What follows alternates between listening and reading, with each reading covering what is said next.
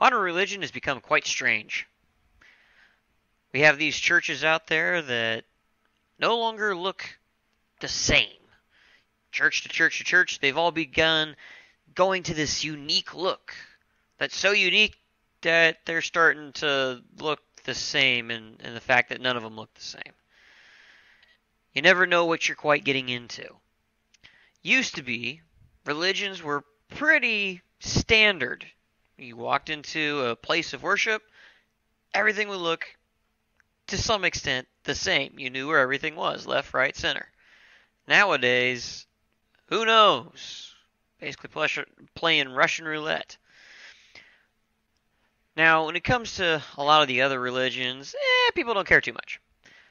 But in the Catholic religion, that's kind of a big deal.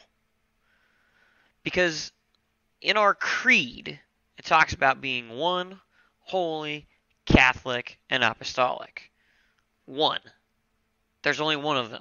You don't have two, three, seven, 90, 930 odd. No. There's just the one. And then you look around, you've got the Roman Catholic rite, the Eastern Orthodox rite, the Greek Orthodox rite. It's starting to not be very one anymore. Holy. Uh, do we really need to go on with what's holy? Right? We're supposed to be doing good things. But look at the recent scandals. Got numbers of priests doing all sorts of just just horrible, terrible things and then you have bishops protecting them from the just retribution. Catholic. We're not just a name, it's not just a word that we throw out there. Now, Catholic actually stands for universal, not just across the globe, but across time as well. You should be able to go into any church built in any year and see the same things. Stations across along the walls, tabernacle smack dab in the center, a high altar and a low altar. Candles all over the place. You've got stained glass windows, same general shape as that of either an upturned boat or a cross. But you don't see these things anymore. And finally, apostolic. The apostles. We all come from those first 11 apostles of Jesus. Of course, Judas fell away, so we can't really come from him. But the rest of them all became bishops, with, of course, Peter being the pope, the first pope.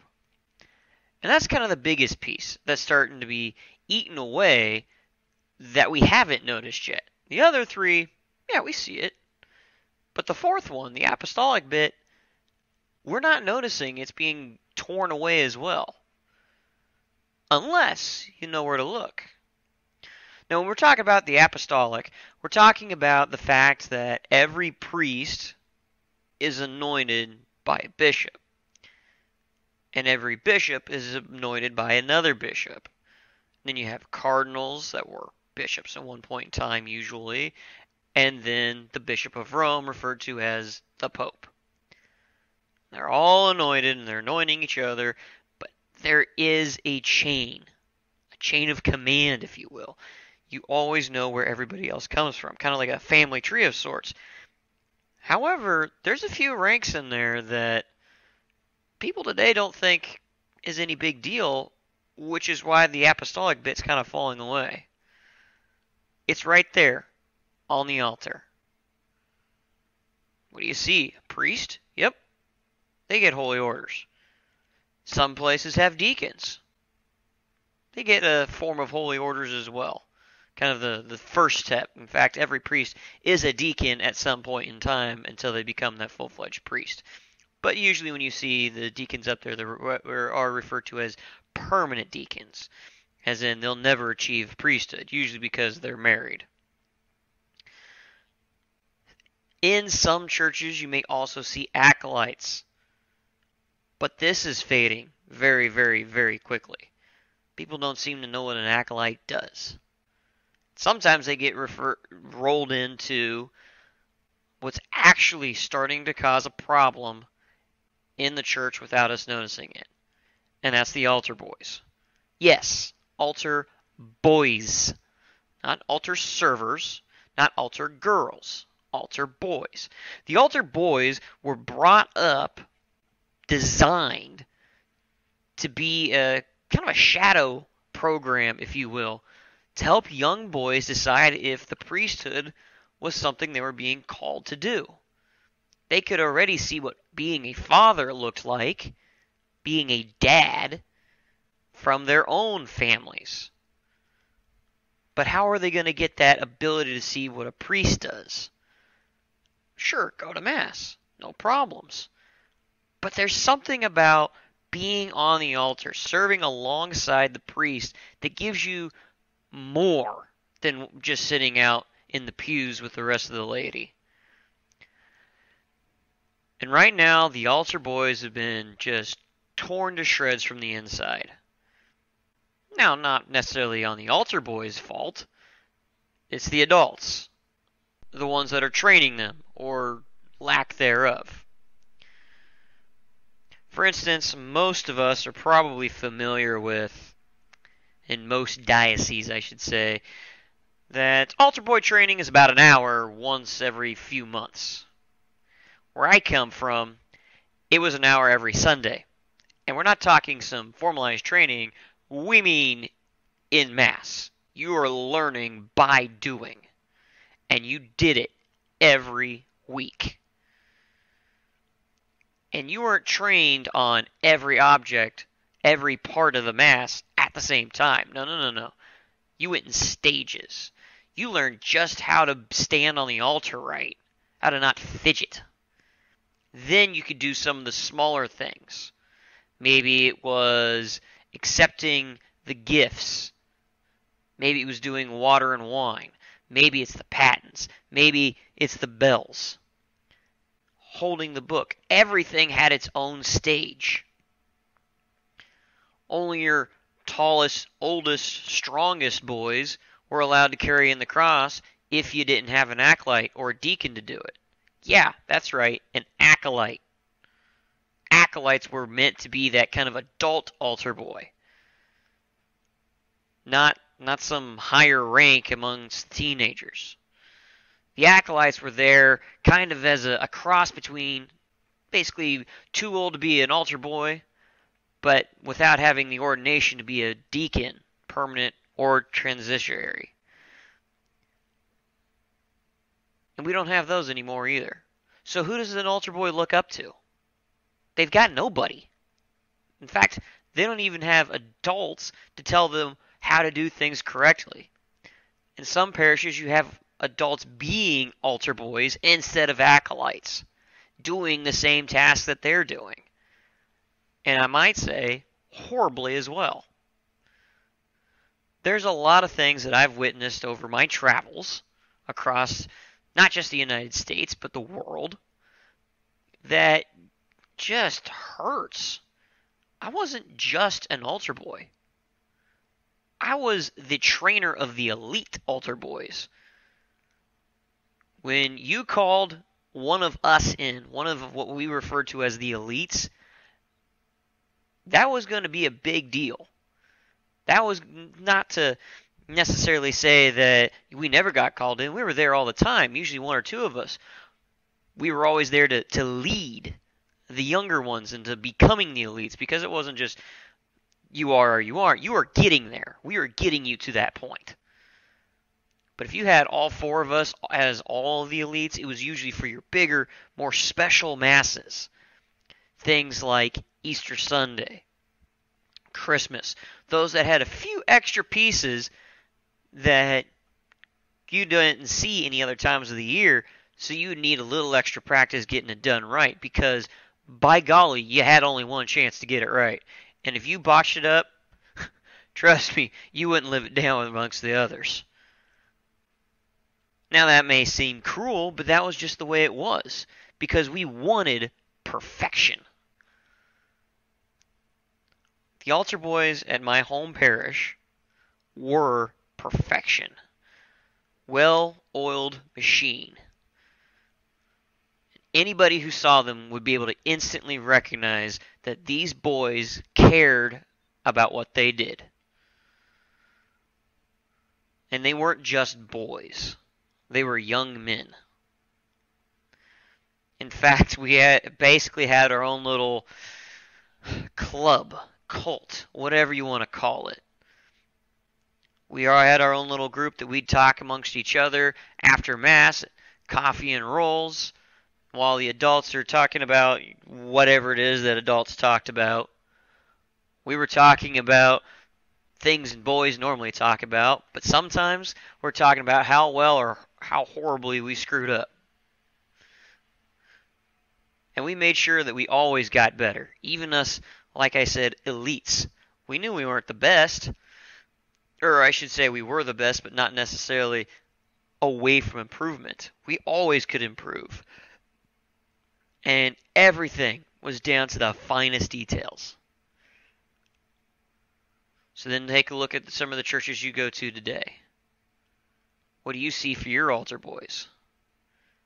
Maybe a few ranges and ages. Hey, that's good. We had quite a range of age as well. But take a look at what's underneath the albs. T-shirt and jeans is not acceptable. You're supposed to be wearing your Sunday finest. I've seen sandals, tennis shoes, boots. No, no low quarters, loafers, aka church shoes. You're going to church. You better look the part. And then what they're actually doing on the altar. For us, like I said, it was basically military precision. For others, kind of bebopping, maybe paying attention to what's going on. Hands are never folded if they do the water and wine, they're they're kind of all up there juggling. Patens. Patens was what we've had basically the last stage. Besides using either the thurifer, that's the incense, or carrying in the crucifix. Those other two, that that was above that. But since they weren't done every day, we couldn't really assign anyone as as now graduating to it, if you will. I mean, they, they did it if they had the ability to, but we weren't able to train on it all the time. But the patens, the reason that we had that as the last stage is because that was the most important part. And what do I see today? People who don't even know what the paten's there for. Every piece, whether it be water and wine, whether it be the bells, just holding the book. Every piece was important to make sure it was mastered. And today, I see people up there with the bells who don't know how to ring them right. Some places they want to do three short bursts, if you will. Cool. It's acceptable. I prefer the one long bell toll. Basically, the bells are ringing as long as the Eucharist is in the air, whether that be Eucharist by body or the Eucharist by blood. While it was in the air, that bell was ringing, which gave the priest the control of how long the bells would ring, not the altar boy. And then you've got patens where people are supposed to be, the altar boys are supposed to put those patens underneath wherever the Eucharist was from the priest's hand to the communicant's mouth. Hands if you're receiving by hand.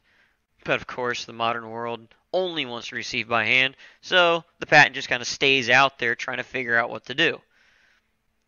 Seen it many times where I will go up, do it right, kneel, receive on the tongue, and the altar server, knowing it's supposed to go under the hands, is trying to go under my folded hands, which I move out of the way so they can get to my throat because they're supposed to follow the Eucharist, not my hands.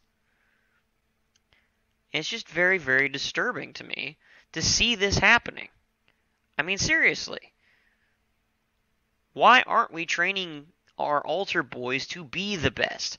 Why is it just why do they have certificates? Hey, look, you graduated to the next rank. What? No, that was all internal. We didn't praise the altar boys in front of the laity. Hey, look, this is their first time serving. Congratulations. Yay. No. Two things with the altar boy when it comes to the laity. One, they, we need to be visible to them so they know what to do right. Two, everything else we should be invisible. We should not be praising them for being altar boys. Maybe, you know, once in a blue moon, we just have an altar boy day or something. I don't know. Tried that a couple of times just to celebrate how awesome they are. But don't celebrate the first time someone serves on the altar. In fact, they're usually the only time an altar boy in my home parish was ever congratulated, praised, or whatever for being altar boy is their final time on the altar because they were graduating from high school. That's right. There is a time when that alb comes off and it doesn't go back on again. Not to say that I haven't put it on a few times myself. I have. Because I had to go to those parishes that didn't have kids at all. And we needed an altar server. Right? That's fine. It's acceptable.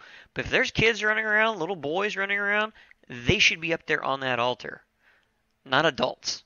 Young or old adults, doesn't matter. It's supposed to be the young men, the young boys who are trying to determine whether or not they want to become priests. Maybe they don't see that right away. I mean, I didn't. First time I was serving was about seven, eight years old. I had no idea what was going on. I just followed what I was told. Do this, do this, do this. Okay. But while I was up there on the altar, I watched what the priest was doing. I would look at the books that he read out of and see there was so much more there than we ever saw in Mass. I mean, you hear him talking. Okay, cool. But then you actually look and see that everything that you're supposed to do, that the priest is supposed to do, is written in there. And that book is thick. And we only ever see him read a couple of pages. Just think about how much more there is to the Mass than we see just from the pews. So when you become that altar boy, you start seeing, hey, this is something interesting. This is something that might be for me. Now, it didn't wind up being the right thing for me to do. Let's face it. There's not everybody can be a priest. If we did, there would be no parents to raise kids. But we need not just more priests, but better priests. And better priests who aren't doing these just absolute atrocious things doesn't start in a seminary. It starts in the pews as a small child with their parents, continues on as an altar boy on the altar, and then we can get to the seminary.